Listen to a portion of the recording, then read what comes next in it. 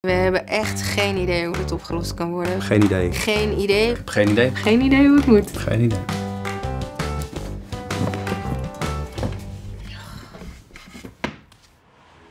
Ons probleem is dat onze kinderen geen eigen plek hebben om eh, te spelen.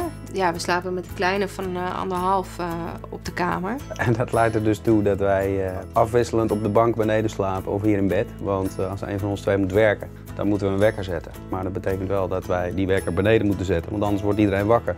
Dit is uh, Avishai's kamer. We worden al van alles bedacht. We proppen hem onder het bed van zijn broer, maar dat is echt heel zielig.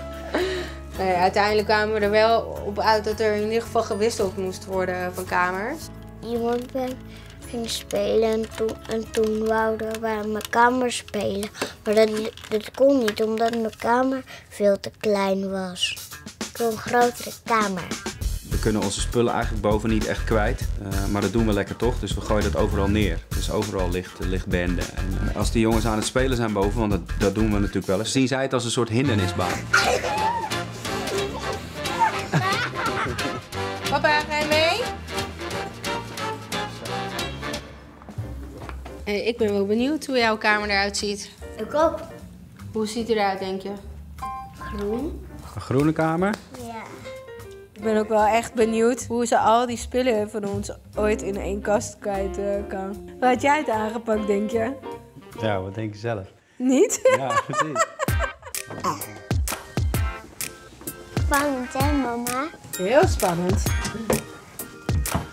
Oh, Vet, hè? cool. Wow. Blauw, groen. Groen. Wat je zei, hè? Ja, denk je dat Aviv dit ook gewoon mooi gaat vinden? Ik denk het wel. Dit is mijn leukste kamer van de wereld. Wat Echt een coole relaxed. kamer. Ja. Ja, dit is echt gek. Ja, dit is echt, echt, echt, Echt heel cool. mooi. Wow, is die lekker? Ja. Of niet? Lekker vet. Ah, lekker zeg. Nee, dat doet mijn kant, denk ik we hoor. kunnen makkelijk met z'n vieren hier slapen. Hé, we hebben ook een wekker.